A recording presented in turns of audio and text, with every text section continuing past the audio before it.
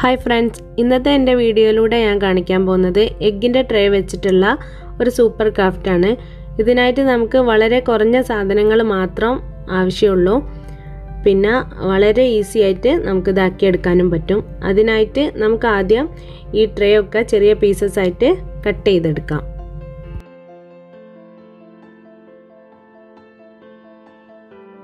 അതിനുശേഷം നമുക്കിത് ഓരോരോ ഫ്ലവേഴ്സ് ആക്കി എടുക്കണം. നമുക്ക് ഇഷ്ടമുള്ള മോഡലിലൊക്കെ ഇത് കട്ട് ചെയ്തെടുക്കാൻ പറ്റും. അതിനായിട്ടൊരു ഈസി വേണ്ട. അത് ഞാൻ ഇവിടെ നിങ്ങൾക്ക് കാണിച്ചു തരാം. ആദ്യം നമ്മളിത് ഇങ്ങനെ ഓരോന്ന് കയ്യിലെടുത്തിട്ട് അതിന്റെ അടിഭാഗം ഒന്ന് ചെറുതായിട്ടൊന്ന് പ്രസ് ചെയ്ത് കൊടുക്കുക. അപ്പോൾ ഇങ്ങനെ ഒരു ഷേപ്പ് വരും. അപ്പോൾ അത് നമുക്ക് ഇഷ്ടമുള്ള ഡിസൈനിൽ ഒരു കത്രിക വെച്ചിട്ട് കട്ട് ചെയ്ത് കൊടുക്കാം.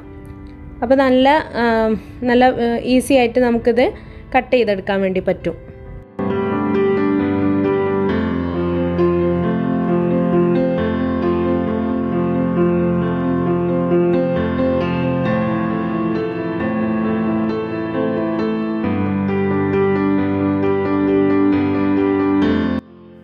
അങ്ങനെ ഞാനിവിടെ എല്ലാ ഫ്ലവേഴ്സാക്കി എടുത്തിട്ടുണ്ട്.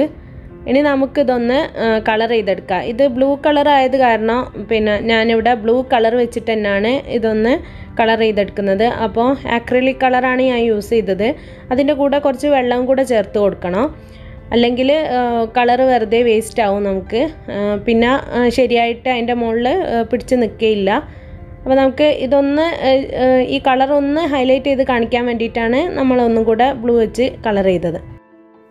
ഈ ഫ്ലവർ ഡ്രൈ ആവുന്ന സമയം കൊണ്ട് നമുക്കിതിന്റെ ഫ്രെയിം റെഡിയാക്കി എടുക്കുക അതിനായിട്ട് ഞാൻ രണ്ട് വിസ്പോസിബിൾ പ്ലേറ്റാണ് എടുത്തത്. അത് ഒരു റിങ് പോലെ കട്ട് ചെയ്തെടുക്കുക. അതിനുശേഷം അതിന്റെ മുകളിൽ ഒരു റിബൺ വെച്ചിട്ട് ചുറ്റി കൊടുക്കുക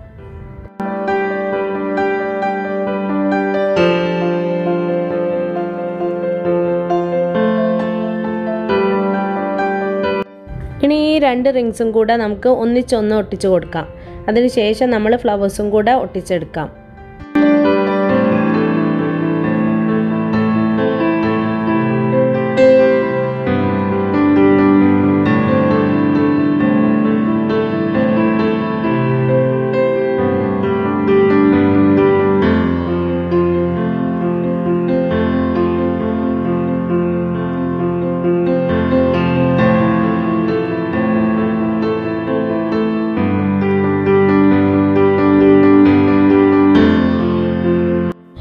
ഈ ഫ്ലവർ ഒന്ന് ഭംഗിയാക്കാൻ വേണ്ടിയിട്ട് സിൽവർ കളർ ബീഡ്സും കൂടെ ഞാൻ ഒട്ടിച്ച് കൊടുക്കുന്നുണ്ട്. ഇത് ഗ്ലൂ ഗണ്ണ് വെച്ച് ഉണ്ടാക്കിയ ബീഡ്സാണ് മുമ്പേ ഞാൻ വീഡിയോയിൽ അപ്ലോഡ് ചെയ്തിട്ടുണ്ട്. എന്നാലും കാണാത്തവർക്കായിട്ട് ഒന്നും കൂടെ കാണിച്ചു തരാം.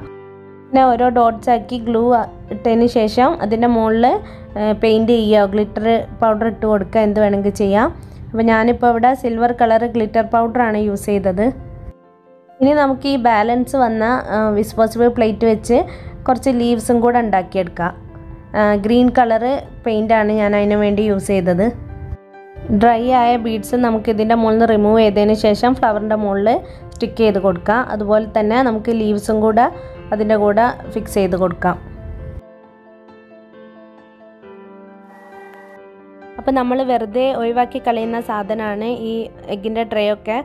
അപ്പോൾ വളരെ കുറഞ്ഞ ചിലവിൽ നമുക്കിങ്ങനെ വോൾ ഹാങ്ങിങ് ഡെക്കോർ ഐറ്റം ഒക്കെ ഉണ്ടാക്കിയെടുക്കാൻ പറ്റും. അപ്പോൾ നിങ്ങൾക്ക് എല്ലാവർക്കും എന്റെ ഈ വീഡിയോ ഇഷ്ടമായി എന്ന് വിചാരിക്കുന്നത് കൂടുതൽ വീഡിയോസുമായിട്ട് വീണ്ടും വരാം.